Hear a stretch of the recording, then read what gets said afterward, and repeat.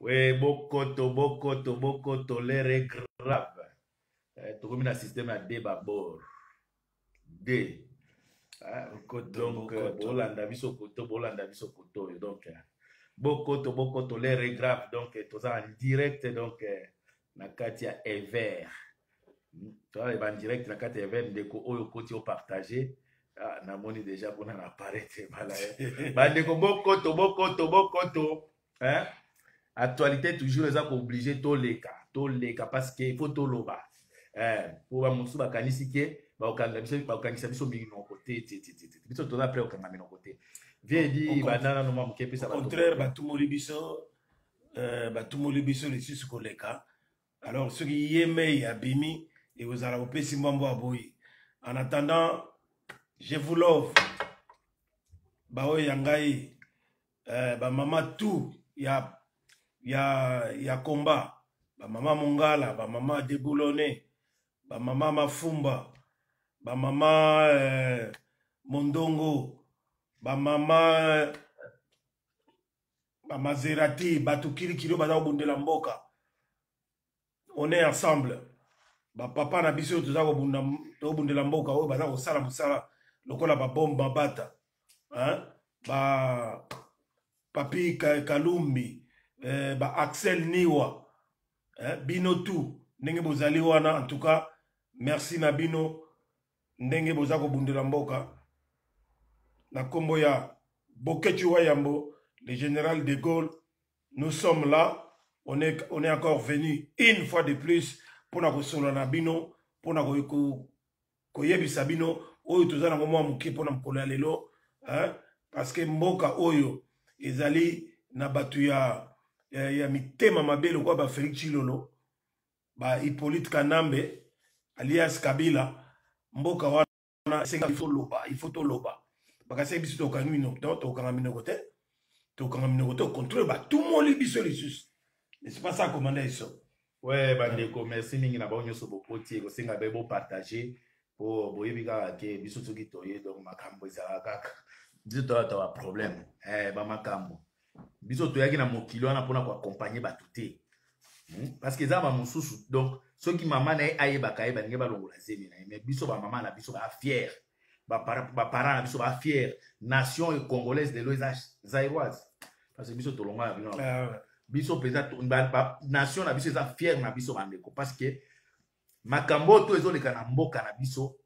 namona nano te peuple aza lokola meme boye fm le sage azali na nini euh, fm le sage apesi yo fabro fabro euh, apesi yo fabala fm hmm. euh, bandeko namona nano te peuple oyo baza koboma ye ya kotumba babomi ye ya kokalinga babomi ye ya koyita babomi ye ya pepe supu mais peuple mobimba aza kozwa ka conscience te pourquoi boza baprisonnier ya bapoliticien e bapolitisien wana baza na kati ya na kati ya nini ya politike ya occupation ya kagame biso etanke peuple tanke balider ya bapeuple zairois toza na mpona koyebisa bino ke bandeko situation ezoleka na este ya mboka na biso nauti komona yango bato oyo bapiblie esali nga mpasi komona ke boza kosevante kaka baposte ministeriel ebele ebele o oh, tozosala soki guvernema mario na gouvernement mario toza na ministère soki ya jar toza na ministère soki ya catastrophe soki humanitaire mais baza wapi na gouvernement mario baza wapi bagouvernement mario na bino namoni bakomi kopesa bato pas même un kilo ya madesu pas même un kilo ya loso peuple zairoi na richesse tu oyo biso tozalaka nango na mboka wana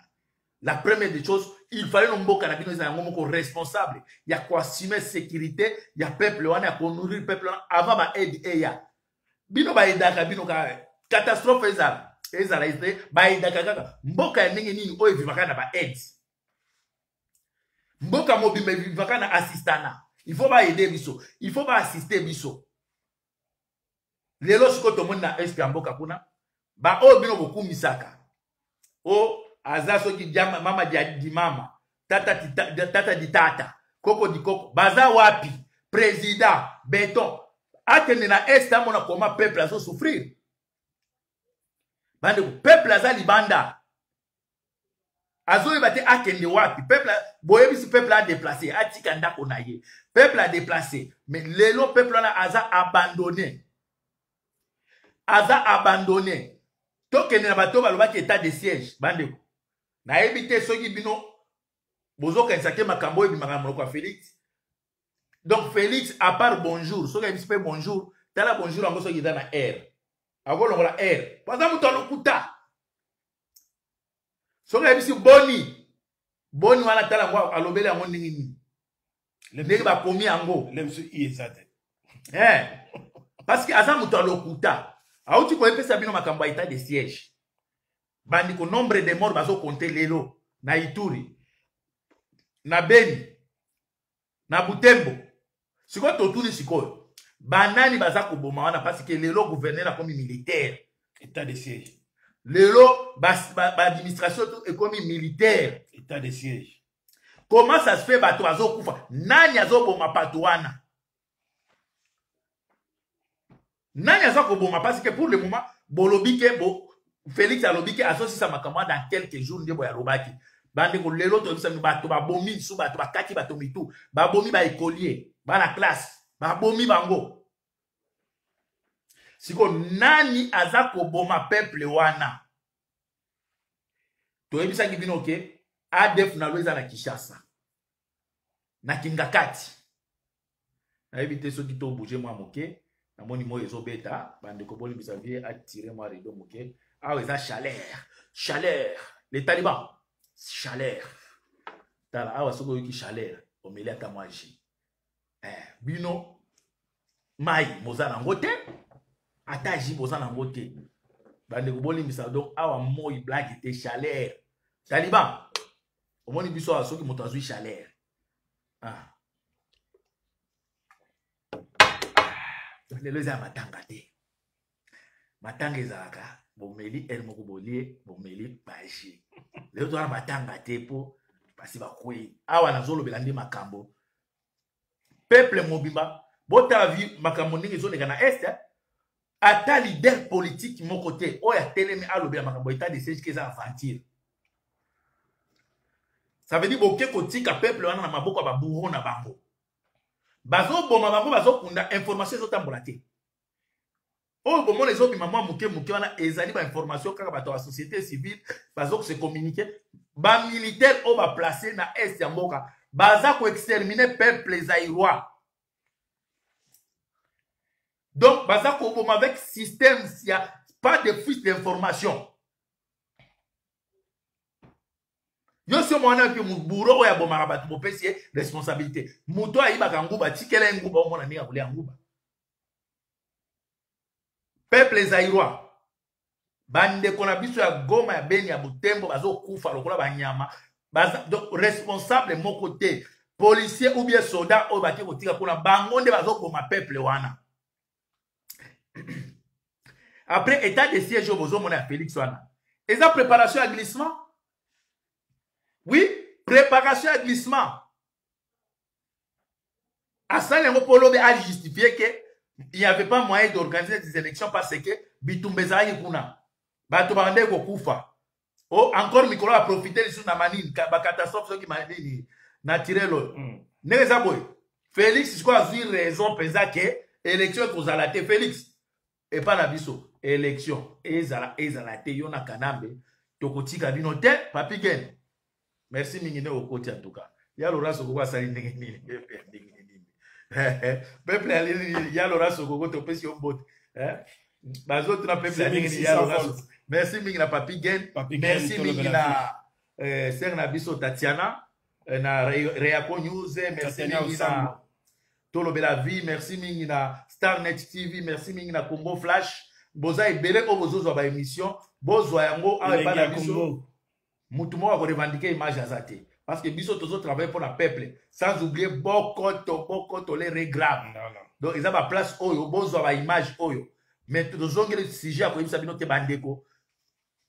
félix azolinga à travers état de siège na ye baglise pour balakisa ke moyen ya koorganize baélection eza te e po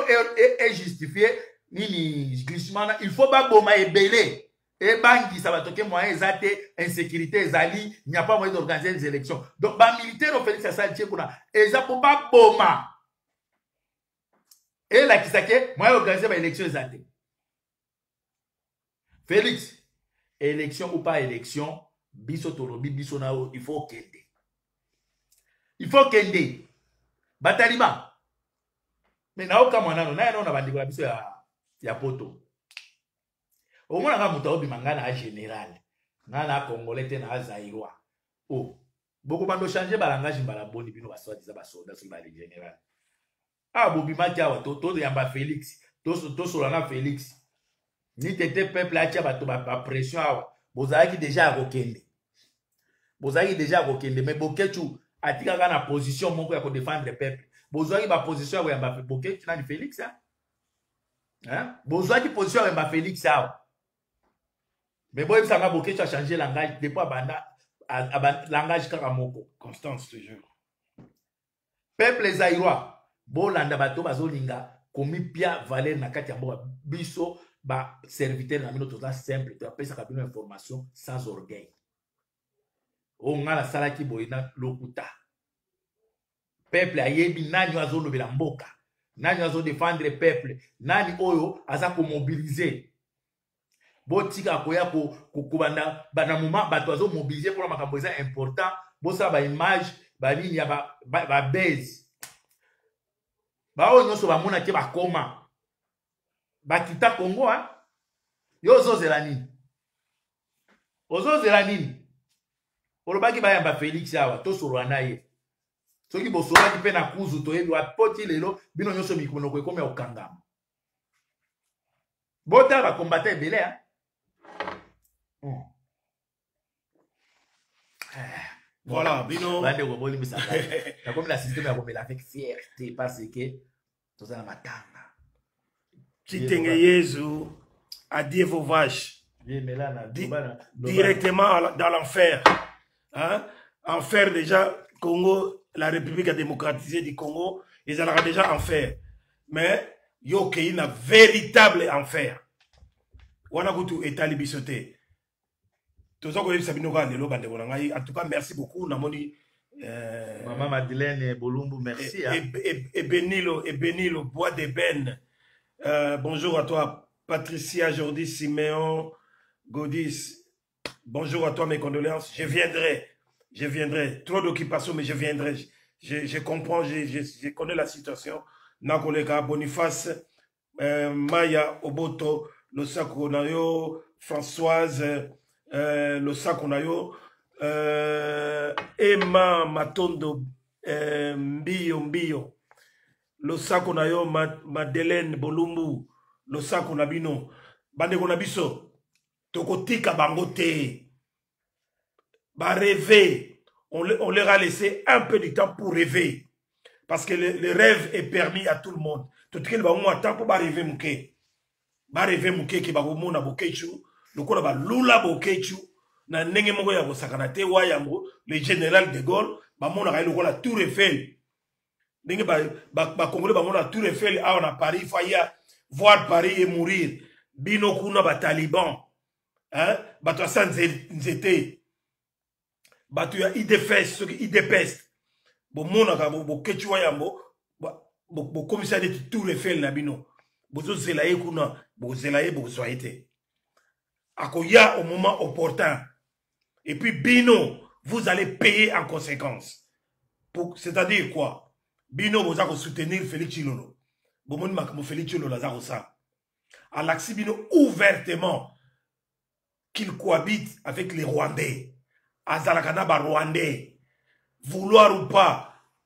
azalaka na paul kagame meme paul kagame azogangela ye lokola lokola mwasi na ye lokola mwana na ye c'est tout à fait normal epa na ye et c'est tout à fait normal epa ya mwana sini komina ya felix chilolo mwasi ya felix ya ndako komina nani azala basi mibale aza na mibale oyo boyebi eh. kasi akomi na bango soki wit akomi na bango soki wit sikoyo ozotuna yango wana oh, babeta masolo ya ndenge wana te yo beta kaka ke basi na ye basi na ye eh? bayebi mpe ndenge nini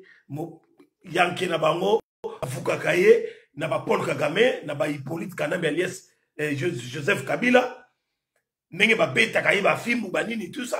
baza baye bamatrake ye na sommet awa ya, ya frank afrique oyo tokenda kotelemela bango na soni na soni na soni wana bakangisi eh, bakoti ba, ba na bakoti nsweki mpo eh, le général de gaulle atikala na france mais azoya azozonga a kala mingi te bokomona ye katisaki tala mutu eh? bakoki batya ye mpe meme na train me bazozela kaka avion emema ye bazozela avion emema ye ya kotika ye hmm? bino bosila soni gouvernement au soi disant de, de, de, de warrior olobi nini komo nango nini de mario gouvernement de mario hein? il faut bosala exploit kombo oyo bozwi faut bosala exploit mario ezalaka nini faut akota akota libala epai ya mwasi moko boye hein? avanda bakipe ye fale bosala exploit na makambo oyo eleki ya eruption ya niragongo fale botomona exploit na bino na kombo bozwi wana oyo esuki na ior na suka ifale bosala exploit il fallait bobimisa ba moyen il fallait même pas demander de l'aide na, na, ah, venant de l'extérieur il fallait bolakisa bolakisa peuple wana que oui union sacrée union sacrilège union euh, sucré salé na bino eboti mbuma union sanguin rien au contraire bozosepela na baliwa ya bandeko na biso ya est mpe bobino bokanisi vraiment ke bandeko na biso ya, ba, ya beni butembo eh, goma bakolashe bako prise bakotikela bino terrain wana ke bona boyene parce que bozobongo bango Parce que ça continue, ça continue, vos, vos, vos massacres, ça continue avec la complicité du Rwanda.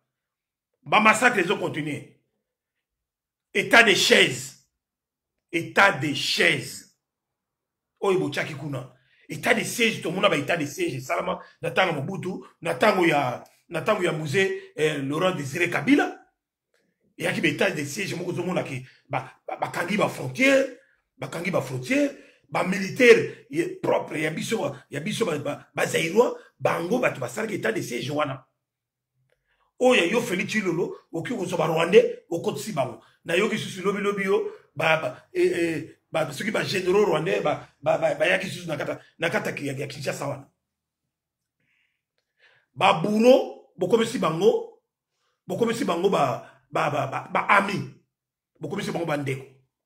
baburo bazoboma bino bino bokanisi vraiment que état de siège wana bosali avec plus de 30 à 50 personnes déjà bakufi ba avec des machettes mais adf nanu bango wana bandeko na ngai ba adf nanu oyo boyokaka ezali kaka bamilitaire wana oyo ya felix chilombo na paul kagame bango wana nde ba adf nalu bango nde baza koboma bato balingi situation echange kuna te tokende nango boye ti na ba 2023 na bango wana me biso tolobi na bino vouloir ou pas vouloir ou pas élection ou pas élection boyeba ke biso tolobi boye mabele wana ça nous appartient ça ne vous appartient pas bokobima bokopakata mbangu parce que trop c'est trop trop c'est trop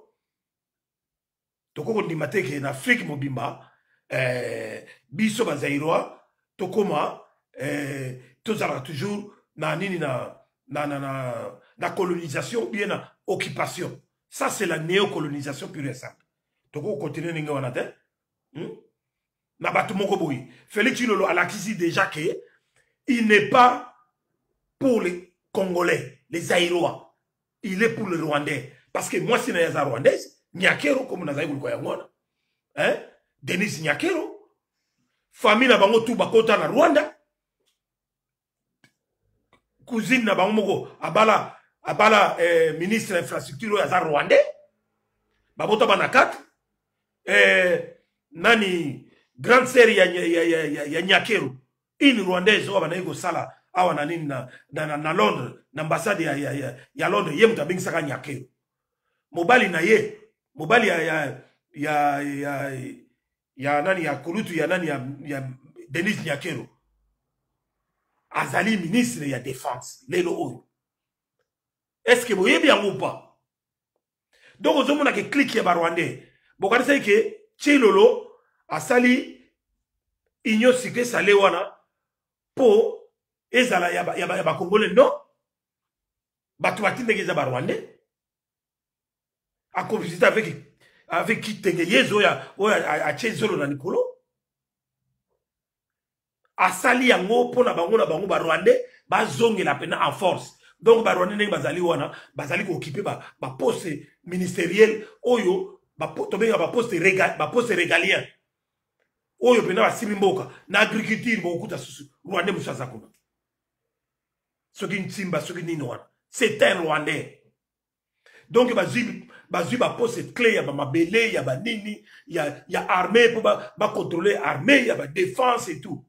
mais bino bozobetela bino bato ya idps bato ya, ya cnct boza kobetela maboko makambo bazosala bato na este wana makambo bazosala bandeko na biso na, na este ya kokata bango bakingo ya kosala bango boye soki ezongeli bino dans les jours à venir bokoloba nini bokobenga yango tribalisme bokobenga yango eh, soki eh, regionalisme en tout cas boyeba eloko boza kosala boyeba eloko boza kosala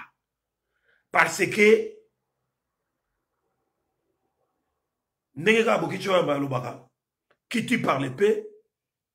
perira par l'épée boyeba yango boyebaka yango lelo deja oyo boza kosala oyo boza kobetela maboko oyo félix aza kosala ya mabe boza kobetela ye maboko bokotiola bino nyonso nzela moko boko bino tu bokozwa nzela wana direction kigali oyo akolinga apréserve vie na ye direction kigali parce que trop c'est trop trop c'est trop trop c'est trop euh, komanda yesu ozwa bana maloba we mingi merci mingi euh, kulutu na ngai euh, vedi bolombo bandeko biso tolingi toyebisa bino kaka ke problème oyo ezotouche lelo bandeko na biso ya est bazokufa devant ba diaspora devant ba tutu ba ndeko na ngai likambo wana soki etouche yo te ça veut dire oza congolais te po bato mosusu baza na yango bana papa na bango te lokola Felix aza mwana Tshisekedi te en tout cas moi je suis sûr que voisin moko azali nzinga nzinga ya ndako ya mama Marthe eh, mais azalaki mwa elongi ya wa ba Tshisekedi po bana mosusu omonaki aza kokani na papa na bango aza mwana papa na bango te neti yo nini elakisaki papa na bino na papa na bino ndako na yoki neti soki aleki ya mama Marthe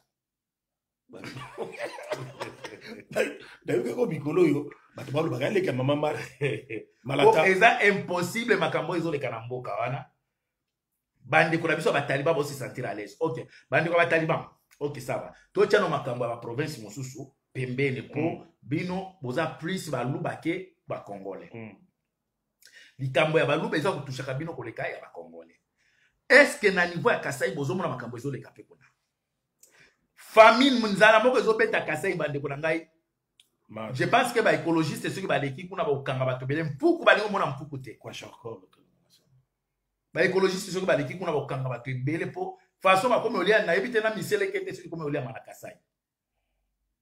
donc bampuku nyonso esila na kasai nyau nde koloba te mbwa basaleli na boudin tozoyebisa bino ke boza mitema mabe bandeko na biso ya kasai parce que malheur mpasi oyo ezoleka kowa congolais pour le moment bato ya liboso epai batelema eza bino parce que biso quand même na baprovince mosusu baéquateur banini bato bazokufa na bamachete nzala eza te wana eza biloko moko oyo eza creye bacreye baye koimpose bato bainsécurité ba mais oyo eza na kasai mais le gouvernement peut, peut, peut, peut travailler sur ça bakosilisa yango katanga eza wana katanga dilolo eza wana keba masangu parce que bino bilobovivaka tout il faut euta libanda kindu eza wana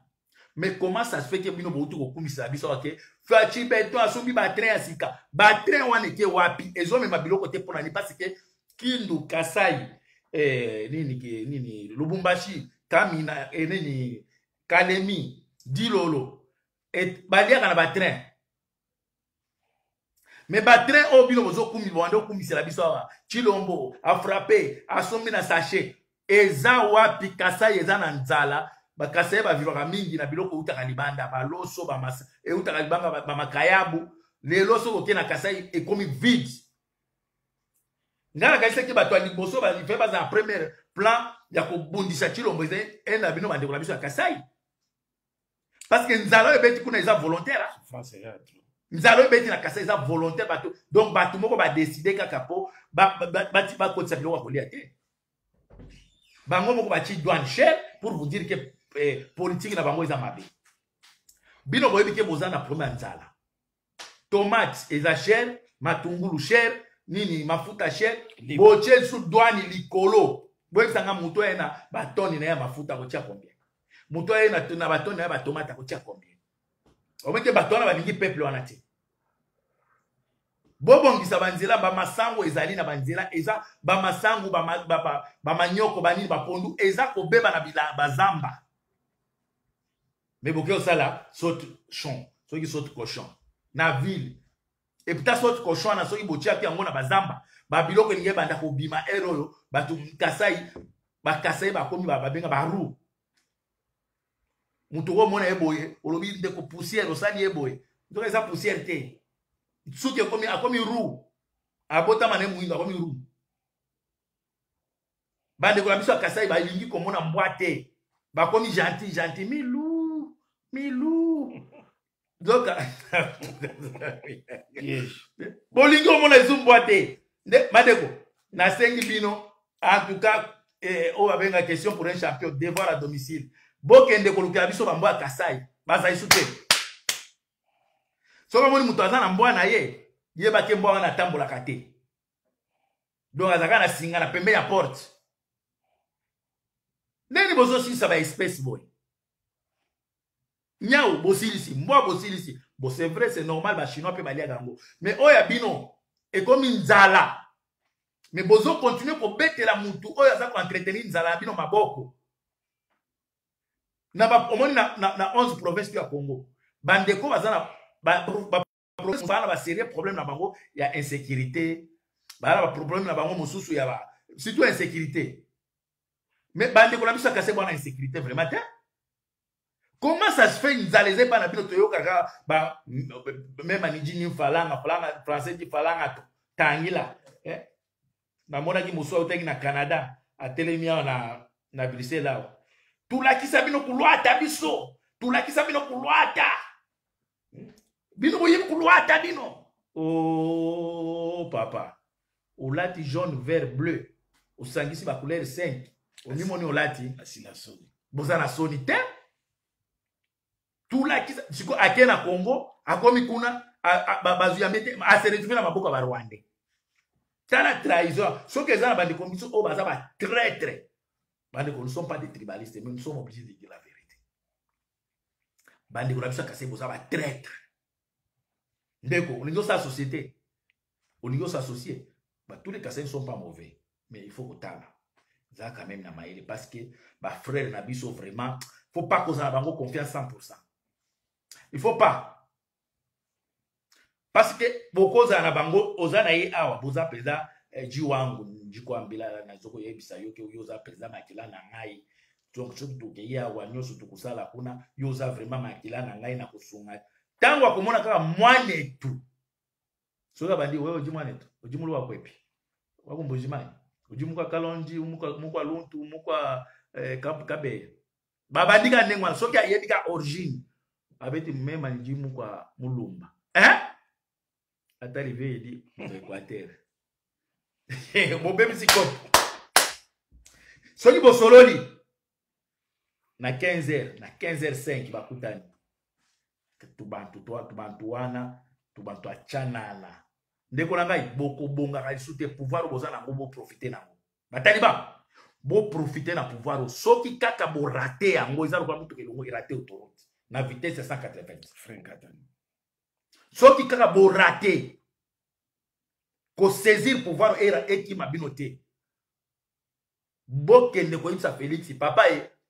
sala tout pouvoir oyo ekima yo te soki ekimi yo tokomi baesclave ya bato ya province mosusu dit amen ekozala bongo parce que bo, bo se comporte mabe awa biso tozolela te bandeko botinda biloko na kasai bato wana na nzala parce que bakasai sont nos frères congo eza kasai kasai eza na kati ya congo mais bino problème ya baprovince mosusu etalaka bino te soki etali mingi eza nde mpo bokolonize bo, bo, bo, bo, bo bato wana makambo ya baprovince mosusu etalaka bino te soki omoni moluba akomi kolobela makambo ya province mosusu ebake azolinga ne interet ya adirige bino mais azosala yango te mpo na interet ke ezofaire partir na mboka na biso non bandeko na biso tozoyebisa bino soki boyini maloba na biso te mpe boyini biso te mpo na bogar bolinga ata maloba na ngai maloba na ngai eza nini bandeko na ngai ya kasai bana na nzala moko eza kuna botya pression na felix achange politike na ye nzala eza makasi na kasai bukula eza komonana te bitoyo ezomonana te tupampa ezomonana te vwadivwadi ezomonana te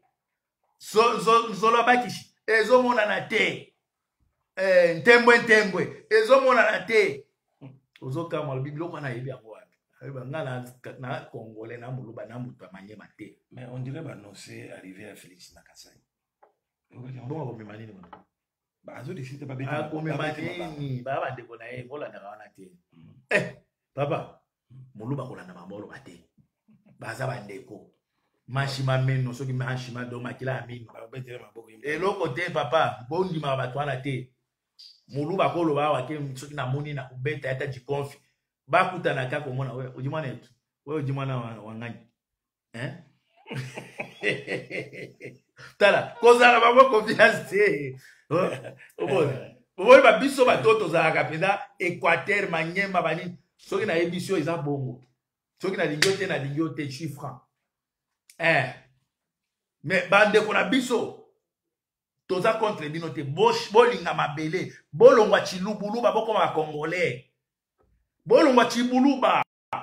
omoni barwandais bazwi bino mpo na nini baetidiaki balobi bato telema balingaka pouvoir balingaka badirige bato mosusu yango bazwi bino mais commandant iso toza mpe na baluba oto obunda na bango ensemble nazoloba baluba nyonso te ah, ah, oui naoloba balubaeske message oyo nazoloba moluba oyo ayebiki abundaka na biso eske oyokaka te heure moko ake pembeni akomoloba koma oza moto wapi oza moto ya wapi non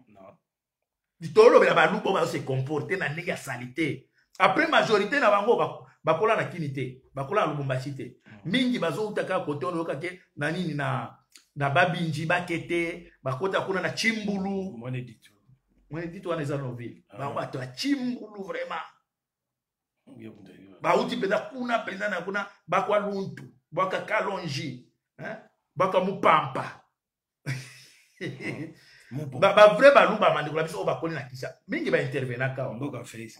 oyo mpenza bakoli na kine obie na lubumbashi baa na esprit meme bamingi bakoli awa mm. ce qui est grave bato bacomprendre baluba eza basi na bango ça c'est vrai basi bajeune fille ya baluba bacomprendre baluba koleka bacongolais mwasi ya moluba ya 17 ans 18 ans 19 ans 20 ans meme akobala moluba te jamais basufra trop soki botie to bokoma awa ke ngai na muluba bokoma soki nakosi epuis baoyo nyonso bazalaka awa oyo balandalandaka biso omona kaka bajeune femme bajeune femme oyo mpenza basi mpenza ya baluba bandeko na biso basi ya luba ba kitoko eh, bazala basi kitoko blage te mais baoyo generation ya sika oyo ya andeor ya nini ya eh, nini biloko na bango baliesaka nini baliesaka basi wana ezala nini kisi biloko balambelaka basi wana nzokolo bakisi wana nini soki mwasi abimi na mobali mosusu chibinji eh. ah, ube nini nani eh. chibau chibau generation ya sika esimba balingi yango te hmm? Hmm? génération ya sika balingi baluba ebele ya génération ya sika babala balingola bango te soki omoni muluba ya jeune abali muluba mosusu ya jeune yebaki libala wana eza entre famille eh, eza bafamille mokubala hmm. mokubala eh. mais muluba mpenza akutani mpenza ndenge boya tie mpenza libaya atuni mpenza papa yo oza moto wapi mema niji muluba mbujimai ye bakefi wana mpo soki abali ye okomi esclave donc ata boboyani yo okobimaka nango na mobali mosusu te okosangana moto mosusu te okozala ye entre temps luyenge yo kuna otikali ozozela kaka okomi maria mosantu yango basi ya mikolo ya baluba bango batimbela deja bandeko na biso te badictatere soki bolingani na motu esimbi te oh, wenki epanzani te lupango moteki eh, mbongo mokaboli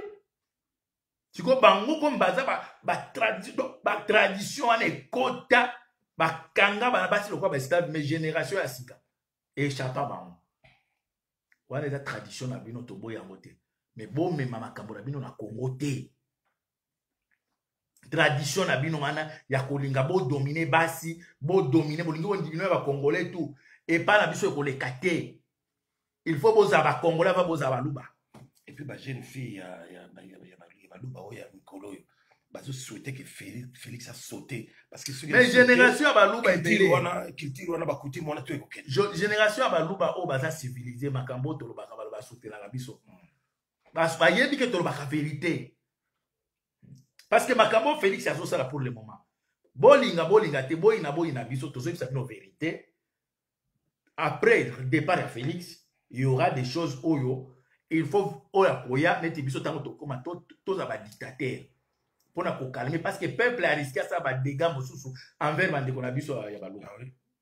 dictature positive il faut vraiment ko s'imposer mpona ko étouffer eloko wana mpo bandeko biso ba se sentir à l'aise mm. mpo na baprovince tu botie mobulu partout depuis bokoma meme guerre oyo bomuti bomoni ya bamisilman eza guerre ya baluba na baswahili parce que c'est toute la première fois namoni moluba aza eh, musulman c'est toute la première fois bazala bango menga namonaka te natika komona imam ya moluba te c'est toute la première fois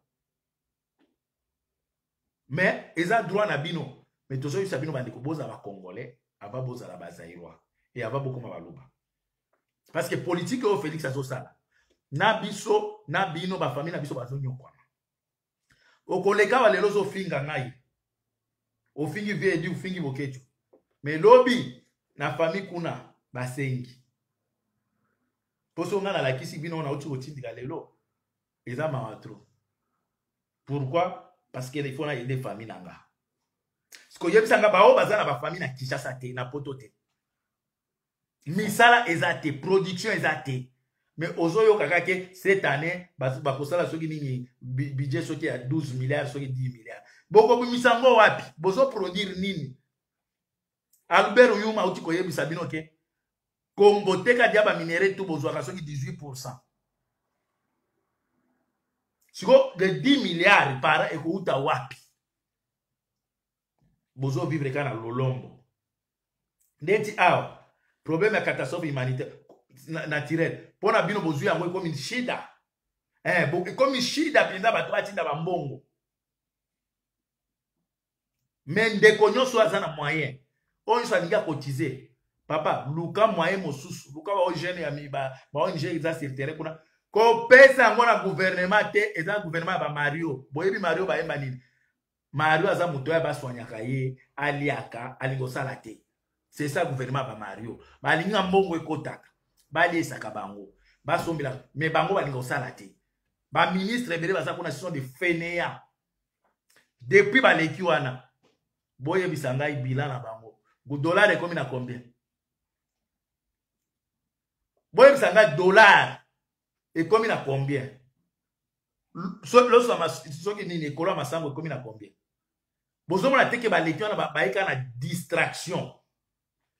bango baza bien yo moto obetelaka bato maboko tozozela gouvernement ntango banome kaka lelo pa babenga ne fond de quoi babenga fond mbongo moko bapesaka bato d'installation fond de fonctionnement fond de fonctionnement après bapesaka nini soki ya d'installation na installation fond d'installation de fonctionnement euh, donc ntango bazonome ye kaka eh, basi batye dia balare na bango kar bito me yo ozozela kaka tozozela guvernema ye papa ye mama ye situ bino bana basi soki omoni ka moto azosaki tozozela no guvernema ebima boya ye eh, boya ye mpo guvernema wana ekoproduire eloko te mpo sous-sol to eza ya bapaya sous-sol to bapaya basi bazwa me soki oyoki moto azebisaka ifo tobengana bato oyo mama linga ye ata mpe sidoti te kende nditame eh, soki oyoka moto alobi bato ifo tobengana bango mama kende omitika omoko epa na bango oyo aza mobali yokoloba voilà donc bozomona makambo oyo en tout cas sur le plan économique ne compte, ne compte sur personne même pas sur le bagouvernement fantoche wana bocompte na, na, sur le plan économique sur le plan social sur, même, le, même sur le plan politique bato wana bakota na bango na babiro na bango baza na baplaystation ba na bango babetaka et tout ça il y a rien tout ce qu'ils font c'est le mativu basala kaka mativu oh je suis ministre de, de je suis secrétaire d'état hein, ministre d'état de, de mais rien dans le fond rien batravaillaka te basalaka eloko moko te kobanda na, na chef na bango félix chilolo asalaka rien abetaka ba whisky na ye na bureau aye na bureau ameli ba whisky na ye abeti mwa mwa ba mwa ba akoti nde na facebook lokola alela facebook alela ba réseaux sociaux rien mosala eza te basalaka rien eloko moko eza te bakontrolaka rien toute façon mboka eza na maboko na moto bato bazokontrole mboka ce sont des rwandais baaéroport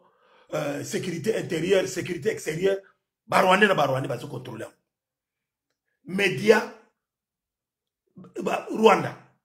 baserveur tout eza na rwanda donc makambo tout meme batelefone ete obengaka bino ndenge bobengaka biso tout est contrôlé par le rwanda bango moko ndenge bazali wana félix chilolo ne fou absolument rien lui c'est le mativi lui c'est le tapis rouge lui c'est le voyage na ba voyage wana pe ayaka papa mate batindaka ye kotinda aza mwana bitinda ya Paul Kagame ce boyebaka te Félix Tshilolai mwana bitinda ya Paul Kagame atindaka ye de gauche à droite kende kuna kende kuna ye role na ye yali kaka bautiliza ye kaka mpo na signature lokola babimisa ye eh, soit disant chef de l'état soki même pas chef de l'état chef de l'état eh, nini eh, président ye ayaka mpo na signature soki bango bakei ye eh, paul kagame ou hippolyte kaname babeti cope na bango bie na, na dubai ou bien na egypte ou bien soki na, na, na, na, na, na wapi bie na france mpe nini ye aya kaka mpona ayaka mpo na koratifie ka mpo na kosigne asalaka rien badécision azwaka azwaka décision ye moko te décision d'après contrat na bango ndenge basala asala na barwandais chaque décision avant de la décision il faut ezala en accord avec barwandais avec paul kagame ou paul kanam sans cela ça ne passe pas soki botali bolandi ye bia bomona badécision azwaka babiloko alobaka oh je vais, je, je vais suspendre ou je vais faire ceci mais tango tant que hippolyte kanambe alobi na eloko moko te ou paul kagame rien ne se fait alors moto ya ndenge wana bino bozo béton béton béton béton Vous nous faites la honte. Vous nous faites la honte. Chaque fois, vous avez gangaka ba béton, ba nini. Même na ba ndeko na biso to wana bango na poto wa komanda iso. Bato ba vanda poto ba zomo na comment l'Europe fonctionne. Comment la démocratie fonctionne. Comment l'état de droit fonctionne.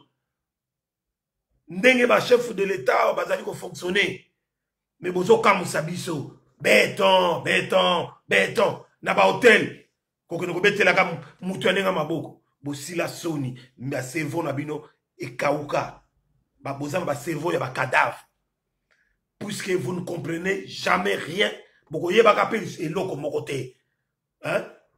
boza bato oyo vraiment donc eh, naye toyebi place nini tokotya bino te o oh, boza na badiplome o oh, bona bona boye mais non bosekisaka biso hein? ntango bofingaka biso bosekisaka biso bosekisaka biso parce que eh, tomona nano bato ya ndenge wana te soki oza na diplome mais il faut avoir aussi la capacité de raisonner et de faire quelque chose les deux ça marche ensemble soki oza na diplôme eke oza capable ya kotrouve basolution te lorsqu'il y a un problème c'est inutile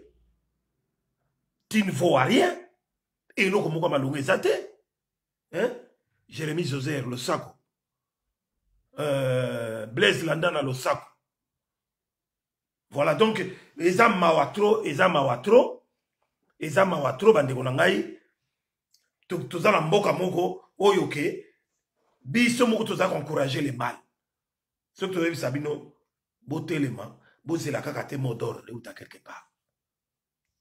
bozela mot d'ordre te bozwi bachance ebele ya ke baelema déclencheur oyo ekosala ke bolamuka bobalola bo masolo na mboka wana me bozolekisa yango kaka bozolekisa yango kaka na passé simple bozolekisa yango kaka na passé simple mais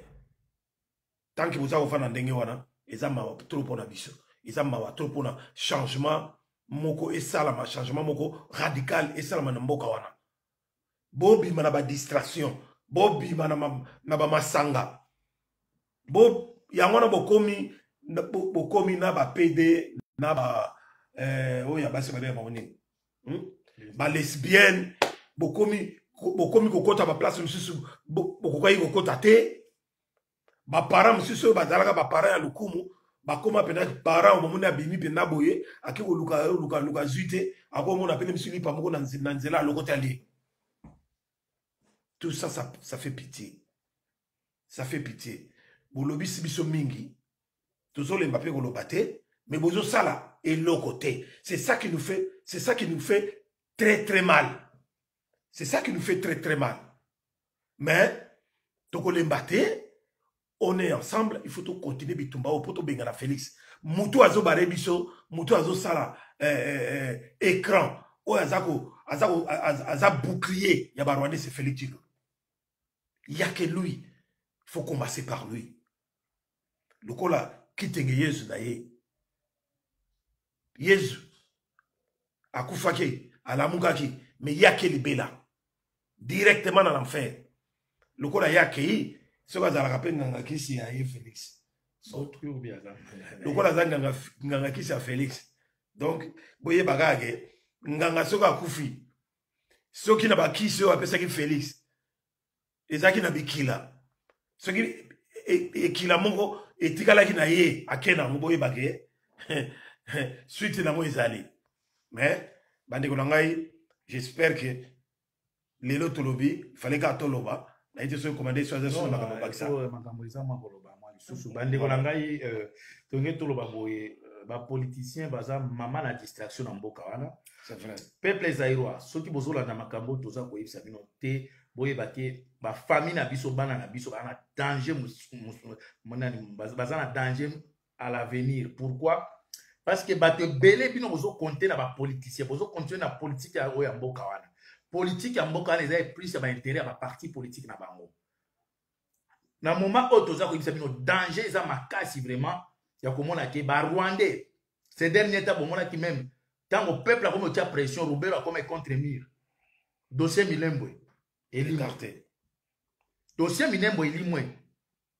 etat de siège batinda yango na sidi te kote ya minembwe lelo ba, ba delegation ya ba généraux rwandais baza na congo baza konégocier intervention na bango baya na congo mais intervention na bango ekokende na sud te kaka na nord soki na ouest soki na est soki na nord mm. et pourtant na sud kuna une grande partie nde place oyo bangomino baandroïde barwandais babombani bake kuna te mais tozomona te ke eske na congo wana eza na mpenza na bapoliticien oyo bayebi geopolitique oyo bazocomprendre baenjeu politique baza te problème oyo ya, ya, ya, ya makambo oyo félix aosala pour le mwana barwandais kobanga ya barwandais bakomi komona danger ke mai na bango ezolinga elongwa na congo il faut renforcer bamilitaire il faut ko renforcer stratégie oyo eza officielle barwandais félix auti kosigne contrat na baouganda na bakenya il n'a jamais signé l'accord devant tout le monde avec les, les, les ougandais ndenge nini baougandais bakoti meme avant bakenya après depuis asignaki na bakenya est ce que bakenya yango basi baya ou bien baye nanu te mais lelo tomoni rwanda délégation ya rwanda eye na kinshasa donc mboka mobimba ezalaka toujours aider jamais bayedaka bino biso na technologie jamais bayedaka biso na, na, na biloko ya kolia jamais bayedaka biso na bamedikama bango aide na bango ezaka militaire monisco atinda asilisi wana abakisi banini brigade spéciale asisi brigade spéciale ya malakisi o oh, brigade de tireur d'élite asilisi wana o oh, brigade soki ya je ne sais pas soki bakoma na nini soki baradar tout wana bazolinga baza toujours okokipe mabele na biso rwanda akota na sokula 1 sokola 2 mbata e, soki nini efase le tableau barwandais baza kokota kaka mokolo nini congo okende koyede rwanda na bamilitaire mokolo nini congo ekotina bamilitaire bakende koyede uganda lelo uganda akomi kotonga boulevard nani autoroute mpo na congo uganda akomi kotonga autoroute euta congo ekende uganda mpo etransporte nini mpo etransporte nini kodepanse mbongo mbongo ebele boye mpo uganda aganye nini pillage ya or pillage ya or tolembi komona tozoluka bato oyo bakodenonse makambo oyo bato baleka oyo bazwaka chance ya koleka na bachaine ya minene lokola ba france 24 mi tozomona kaka babuzoba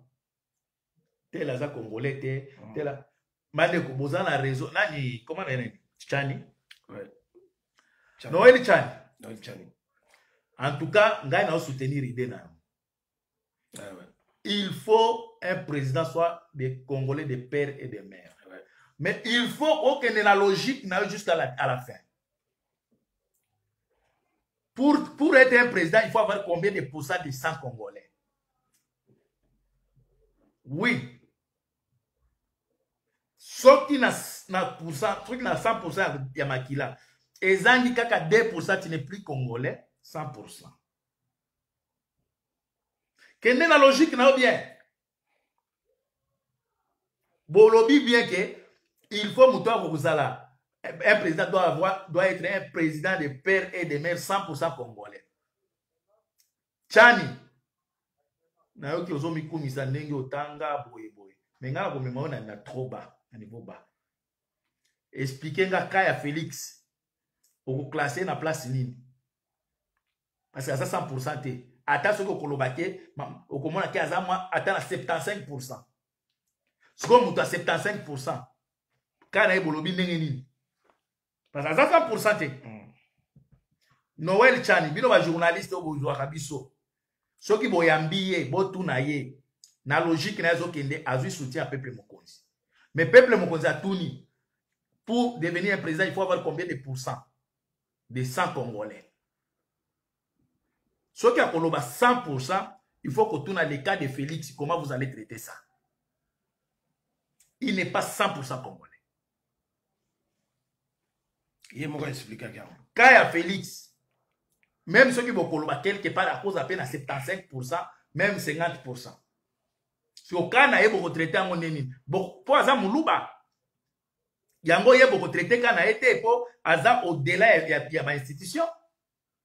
il faut, il faut traiter le dossier par dossier cas par cas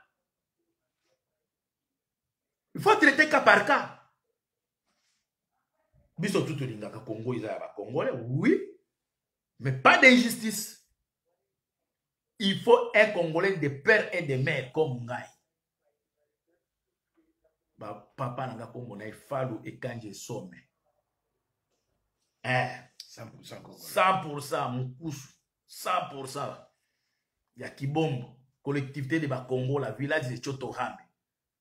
osantira yo mpe pesa epa bino makambo ndambo ndambo toboyi bopesa mama na ngai aza mokusu lokele papa na ye aza munyadenga munyayoko osantira nayebi te soki banyayoko baza apesi bino mbote nga naza 100 mongala mama ya mama na nga aza lokele ya kisangani nayebi te soki aza ya teke soki aza yango nde te akoza ya teke eleki nemial yo eza 100 ya wapi le vrai congolais naoyo bato bapanikaka eso aza eh, un congolais sans frontière un congolais sans frontière soki otanga tala carte géographique ya congo banani baa na centre ana mongo 100 yo traite nga malawi teza oza fou po faute na nini ere ya kotanga obande kotindika pusu eh, botanga ata kombo na nga te pour vous dire que noel chani oza na soutien meti il faut okende na logique na yo salela biso calcul ya combien de pourcent de sang congolais pour devenir un président au congo ah oui ah oui oyo oh, bokeco afingaka bokeco afingaka na ntina me nayoki mpenza na monoko ya intellectuel afingi moninga bata ah. eh, bango président na bango afinga na bato banyangalakata bandoki bokecho voyou bokecho atanga te bokecho mosala na ye kofinga me nayoki mpenza noel chani afingi moninga batar kuna mpe moninga na ye wana ye mpe azofinga soki biloko nini mpo na alandi ye nano mafinga na ye te me namoni mpe azobundana mpo ase defendre bozodistraire biso bavoleur bino tuna bamuyambo na bakatumbi na banoel chana na bafelida felix vous n'êtes pas pour l'intérêt du peuple bamiyibi noel chani de toute façon oza mpe américain na moi que je me trompe hein? oza américain oza américain ntango ochange document na yo tie américain du sang ou quoi tie américain katumbi aza zambien italien soki nini donc botika biso na congo kimia bemba mpe aza soki portugais nini botika ya moko bolingi kongwana te félix angolais zambien enani congolais bolingi mabena te parce que boza na pure te pure sang boza nango te ata osali quelque chose yeba kaka makila ya mboka na bino ekoganga yango jour mosusu il faut kotala no félix totia match ya entre match ya congo na bandeko na biso ya angola totala yango bandeko jour mosusu tokozwa mpe katumbi boye totie match ya zambie na congo totie tester tokoyoka motema na ezoloba nini eh.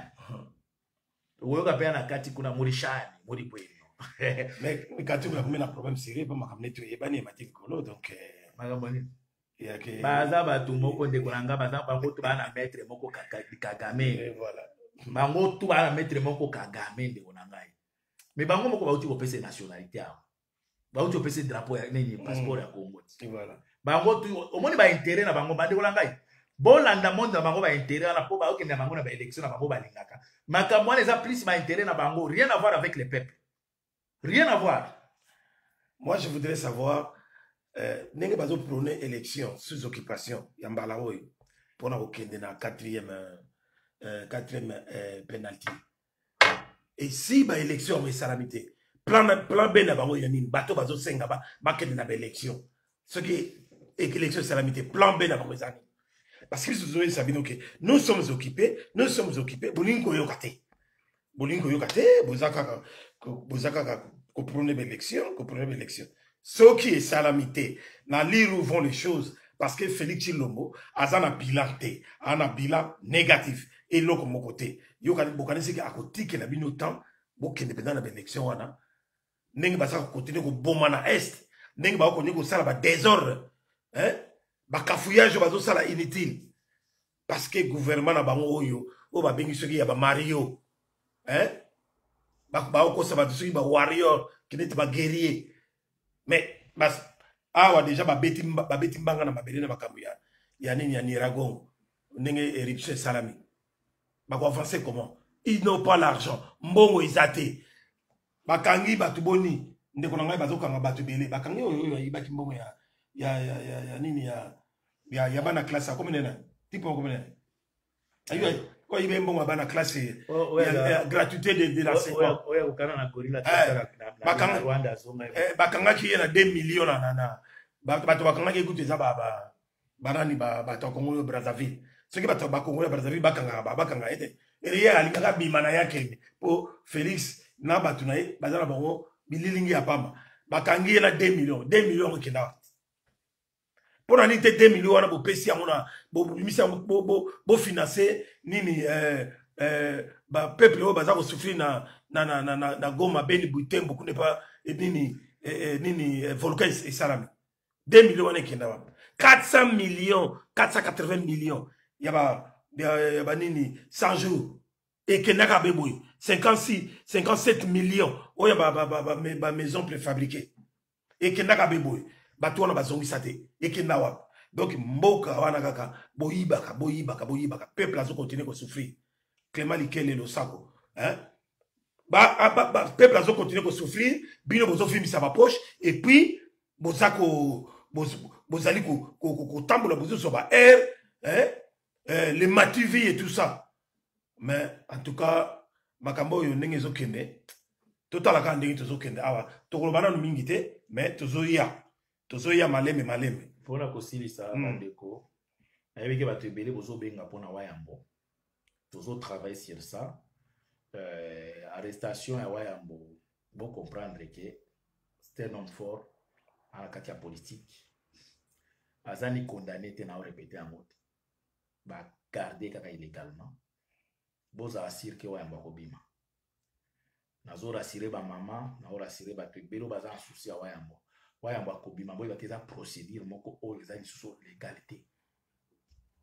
ekomi na bamain noire mosusu oyo ezokanisa ke balia ye temps bon naza kodecourage baoyo bazokanisa ke wayambo bakorefule ye ifaut bolongola makanisi wana bandeko na ngai na mweke ozala mpenza oyo mpenza bourike bourike ya dernière bourike de bourike mpo ozala na idée wana mais motu nyonso aza mpenza na cerveau na ye eza ofanda yoteke non c'est impossible alisa yo c'est impossible meme soki moto oza résident ya pamba c'est impossible mpo awa ba vraie opposition ezalaka ba vrai bato ya droit de l'homme bazalaka yo ministre oyo koexekite eloko ya ndenge wana bazongisi moto wana moto wana akufi awa na poto mais oza na problème ti eh, mais bataliban bozala na bino kimia wayamba koya nde alibere mboka wana me tokoya mpo tobeta bino fimbo mpo tokorige bino me soki bozozela wayambo aya na ndenge bino kokanisa bokosi wayambo auta mbandaka aya na effort physique personnel aya na poto na nalandi motu moko awa aosala bateori moko ya lokuta lokuta oyo petit oyo voyou oyo ya azalaka na nini eh, azalaka na, na nini na france ndeko oyo abetaki selezino petit moko ala mikumisaka soki aza musicien mais oza voyou didienzo c'est un voyou batheorie ya pamba siko finalement wayambo mokanda yango azwa na, na groupe nini kote wa pareko arevandikaka yo, yo mpe kuna ozoloba ke bakoretire mpo idps esekomi na pouvoir azwa mokanda ya nsima wayambo azwa ni mokanda ni nsima ya idps ni nsima ya pareko azwa na nsima na bango te wayambo azwa mokanda na nzembo na ye pas de complexe nalingi naloba kasi nazi kobanga soni yango wana epesa ye nzembo naobanga prison mawa mingi na mboka na biso droit de l'homme ezalaka te yango epesa wa yambo mokanda mpo ani lokuta boye mpo nani boza lokuta boye wa yambo azwa mokanda na efo perso na nzembo na ye ya revolution eh? awa na poto baliaka mwa ngoya nzembo na ye yango wana epi ye mokanda mais ozoyoka batheorie ofe oh, eh, azwaki yango na nsima ya idps comme idps akomi na pouvoir il faut baretire mais il faut avoir toujours moto abangi lokola moto wana en tout cas baraisonnement il faut ya bangi événement moto auti kobenda bosombaka bangi ya hollande oyo oh, bozomema yuto ya algérie na maroc bazosangisa somba ya hollande parce que kuna bango baza baoteka ya bio parce que badéclaration na bino ezomona ke ezobima na se ya milinga bozala calme bandeko na biso toza na procédure ya libération ya wayambo merci mingi na beachachi lopez ngonda merci namona leoport mafuta merci mingi na bandekoririk rikinemial nemiala napesi bino mbote je pense ke tolingaki tokoyebisa bino kaka te bozala kimia kote ya wayambo toza ko travailler boka souci oyo bino boza nango biso mpe toa nango omoni c'est un père de famille mais azokufela cause moko verité no. libération ya mboka wana donc soki okoyokela wa yango mawa omiyokela mpe yo moko mawa eske yo ozosala nini na makambo mboka wana okofanda kaka boyoka kaka mawa mais bocontribuaka te meme o bosa non tozosenga na contribution te mpo toboyi boya kosalela biso bachantage bakotiselaki ye bambongo me oyo akomona te motema na ye alingi abengi apesi atolobi merci me toboyi bachantage mpo eya kokoya koambrie komba batindelaki bango 20 000 bakotisation tozwaki boye oyo bamosusu bazalaka aleki alobi ngai nayebi peple mokonzi baliaka mbongo bato ya maboma baishiwa deja na makambo wana maboma baloba soki esila yango moni tomoni makambo ya wayambo baoyo bazoprometre na baoyo bazopesa nzambe apesa apambola bino mais tokosala appel de fond te mpona toyebi congolais akolongwa na pasi meme na difficile problème oyo ndeko aza nango kuna bokomi kotya makambo ya mbongo liboso o oh, daire bayi tokoyebisa nga bazwi 20 000 awa moto atindi nano mbongo aza te eh, toza besoin na mbongo na oyo ya kolinga me biso tobanda kosala appel mpo na koevite to ya kodeplace makambo oyo toza na yango tokotisa distraction yango totiki mai na juin werason azoya beta na paris bana paris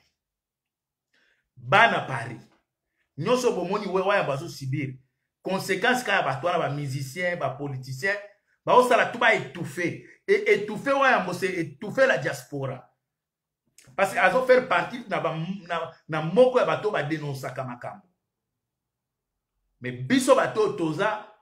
toza toza libanda toza na pouvoir ya koloba peuple zairois eza soki na juin na juillet 23 juin soki le 23 juin oyo ayebi date akomela biso awa soki eza ya wango wana boconfirme kaka biso tu na paris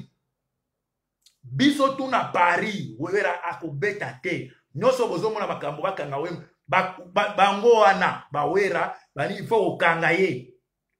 tokotelema na bango soki olingaka congo soki oyebi te bazolinga koimpose biso barwandais na moto ya mboka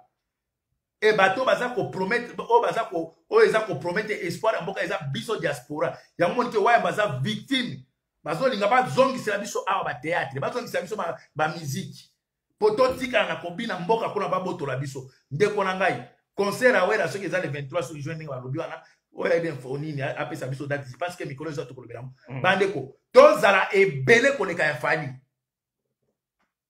moto abanga te moto abanga te tozala ebele eza cause oyo eza juste na ntango oza kodenonse makambo oyo ezoleka na mboka na ntango oza kolakisa me ozomona ke monde entier batiki bakongole batiki biso me soki batiki yo moko efo obunda kozela te moto aya koede yo makambo bawela bazosalana eza yebisa nga producteur nini oyo akotia mbongo na moma oyo ayebi te concert wana ekoproduire eloko te producteur nini wera jb kofi banini bosepela peut-être eh, bandeko na bino bakinois oyo okomona alobi boye asalaka eloko te mais moi dans les affaires kotya bino mal vi na mboka wana bokima eh? moi dans les affaires na presidence na bokokima bokokima mpo obima nano kongo ifo ozala na autorisation bokokima bandeko na ngai le 23 juin concert awera congolais tout place ozali makambo bomoni waya bazo subir bango wana bawera baministre ba, nini président ya francophonie soki mushikwabo bango wana bato ya kagame baolinga tout babetisa concert mpo elakisaki bakongole bakwei le jour oyo bokotika miziki ebetami awa na ndenge ya calme yebaki barwandais bakoseka bino na ndenge moko ablaki te yebaki bopesi barwandais e, baargument ya kotyola bino makambo ya fali ekitisa bango makambo ya fali donc bakoka koloba te bamoni ke eh, peuple akomi na maturité yango moni ke bakomi kobanga bamoni ke bato oyo de plus en plus bazalaki bazoba bakomi kofungola miso concert deja elakisi ke bato bakomi na maturité mpo bando benga biso babemi soki oye soki nini toyebisi bino peuple ezaiwa place bozali na partout na europe mobimba le 23 biso tuna paris concert wana ekobeta te ekobeta te mpo kagame akona bamoluzi soki mosikwabo na bafelix bakoimpose biso miziki ya force te soki yo ndeyo na ngai olingi ozwa lit oyo bitumba obundi ta molai otika concert wana ebeta ça veut dire olango oza complice ya bagénocide ya peuple wana